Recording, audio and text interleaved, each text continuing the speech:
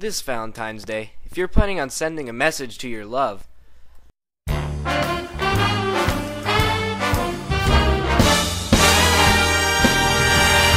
The way you wear your hat, the way you sip your tea. don't.